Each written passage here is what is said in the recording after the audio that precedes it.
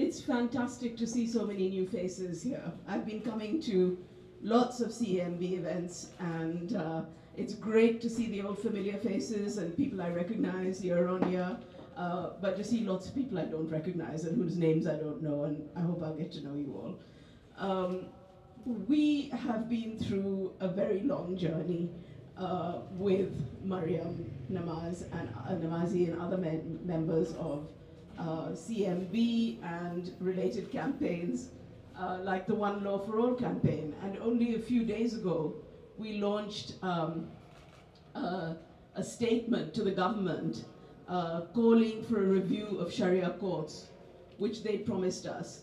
But in fact, we know that we're likely to get let down by the politicians of any political party because nobody really wants to take on religious extremism. And nobody wants to take on religious extremism when they feel that it's a partner in the fight against terrorism. So using one form of religious extremism to fight another.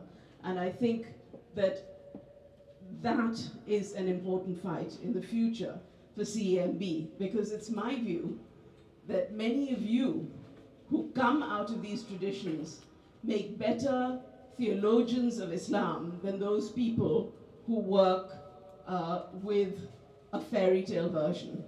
Because you can work with history, you can work with facts, you can work with evidence, you can analyze the history of Muslims, which is not the same as the theology of Islam. You can talk about many things that you know about in a much more complex way. And, you know, I see a lot of hope in the future coming from uh, the individual and maybe the collective work of people who are associated with the forum. And the other thing that I think is really important to remember, and some of the speakers earlier spoke about it, is the issue of um, refugees and migrants. We're facing that we're here today celebrating at a time when other people are protesting at an austerity march. And the fact is that we know that this is a government of little Englanders which is trying to throw up barriers against the persecuted of the world.